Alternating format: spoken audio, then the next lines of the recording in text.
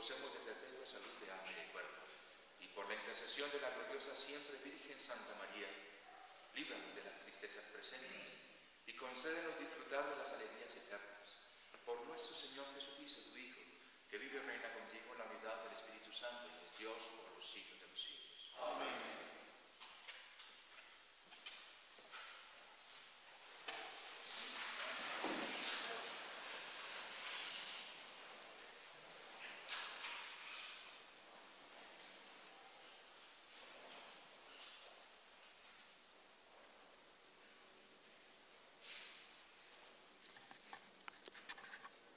Lectura de la carta a los hebreos.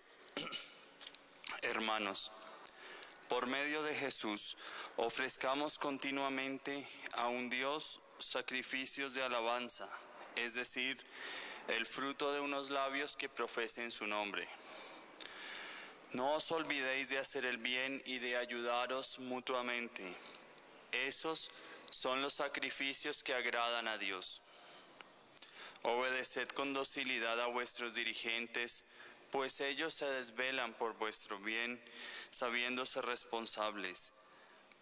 Así lo harán con alegría y sin lamentarse con lo que salís ganando.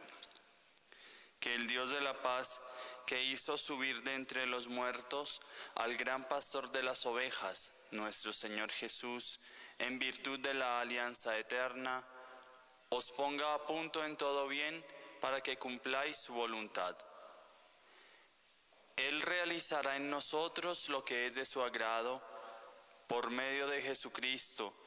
A Él la gloria por los siglos de los siglos. Amén. Palabra de Dios. El Señor es mi pastor, nada me falta. El Señor es mi pastor, nada me falta. El Señor es mi pastor, nada me falta en verdes praderas me hace recostar, me conduce hacia fuentes tranquilas y repara mis fuerzas. El Señor es mi pastor, nada me falta. Me guía por el sendero justo, por el honor de su nombre. Aunque camine por cañadas oscuras, nada temo porque tú vas conmigo, tu vara y tu callado me sosiegan. El Señor es mi pastor, nada me falta. Preparas una mesa ante mí, enfrente de mis enemigos, me unges la cabeza con perfume y mi copa rebosa. El Señor es mi pastor, nada me falta. Tu bondad y tu misericordia me acompañan todos los días de mi vida y habitaré en la casa del Señor por años sin término. El Señor es mi pastor, nada me falta. Aleluya, aleluya, aleluya, aleluya, aleluya,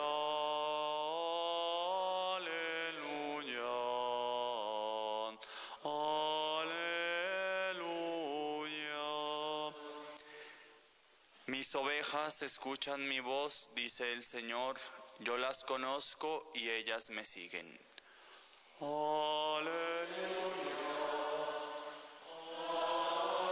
Aleluya.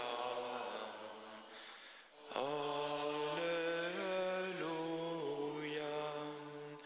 El Señor esté con ustedes. Lectura del Santo Evangelio según San Marcos.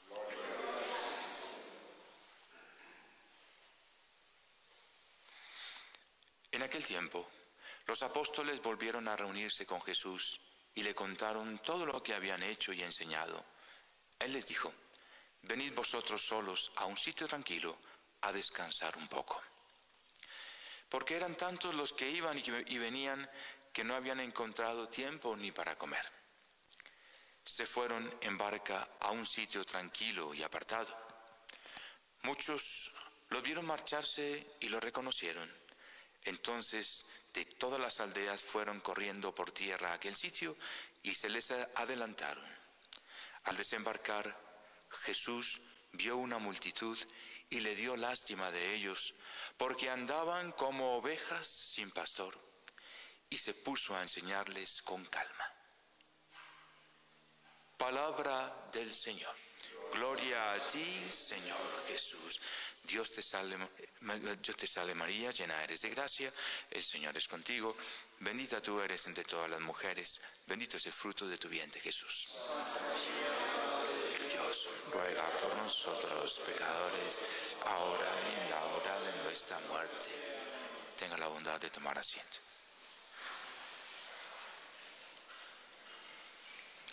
La figura del pastor nos es recordada por el Salmo, el Señor es mi pastor, nada me falta. Y queda más, más claro todavía en el Evangelio, cómo nuestro Señor es eso, el pastor de las ovejas, el gran pastor que da la vida por sus ovejas y que aún en medio de las dificultades, del cansancio, porque no había tiempo ni para comer, se reúnen, lo siguen y Él tiene lástima y les enseña con calma. Si eso era en el antiguo, perdón, si eso era en la plenitud de los tiempos cuando vino nuestro Señor en el Nuevo Testamento, hoy en día, hoy en día también, es de quedar pasmos, de ver cómo la misericordia de Dios llega hasta los sitios donde uno ni se puede imaginar. Una oveja perdida que está en el lugar donde no debe estar. Allá va el Señor con palabras hasta la presencia de la propia Virgen. Impresionante. La madre de Jesús, la Virgen María, es la divina pastora, con D minúscula. Y ella también intercede por sus ovejas. Un alma que está en un sitio donde no le corresponde, en medio de personas que están haciendo el mal, viviendo en pecado, y allá siente la presencia, no solamente la presencia, la ve, y escucha la palabra de ella y le dice, aquí está la puerta, sal, te espero afuera. Y ella es obediente.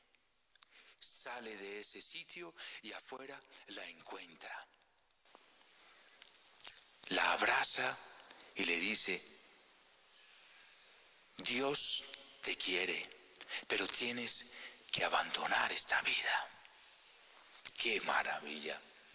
Es el buen pastor, es el Señor que a través de ella va hasta los sitios más recónditos y uno queda pasmo de tanta bondad, de tanta misericordia de nuestro Señor hacia sus ovejas. Pidámosle a la Virgen Santísima, recemos a ella con todo fervor, con todo el corazón, pidiendo eso, para que venga cuanto antes sobre el mundo el triunfo de su inmaculado corazón.